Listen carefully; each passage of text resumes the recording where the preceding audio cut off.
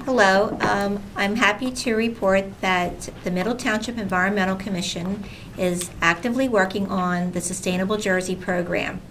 The Sustainable Jersey program is a certification program for municipalities in the state of New Jersey, who the municipalities that want to go green, save money, and also take steps to sustain the quality of life over the long-term period ahead in the future.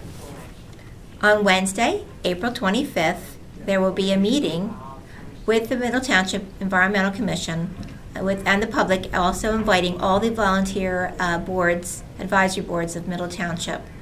And at the meeting at 6:30, we will talk about all of the action items that are addressed in the Sustainable Jersey program.